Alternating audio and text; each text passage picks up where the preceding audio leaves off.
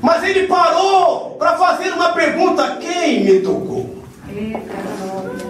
Aleluia. Quem me tocou? Porque o tocar aqui, o tocar aqui é chamar a atenção.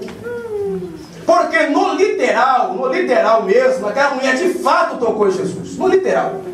Como é que nós hoje poderíamos tocar nele? Nós temos que chamar a sua atenção. Temos que fazer algo que faça com que Jesus pare para nos Olhe para nós. Olhe para a nossa aflição. Aí a Bíblia diz que essa mulher tocou na orla. Ela não tocou na orla porque ela caiu. Ela tocou na orla porque antes de sair onde ela estava, ela disse: Se eu tocar na orla. Então ela foi de fato para tocar na orla. Ela não no chão, não. Ela tocou na orla porque esse era o seu propósito. Quero tocar só na orla.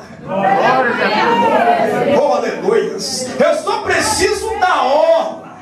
Eu só preciso da beirada do seu vestido para que Deus faça um milagre na minha vida. Talvez o que você precisa não seja muito, porque diz o centurião: Senhor,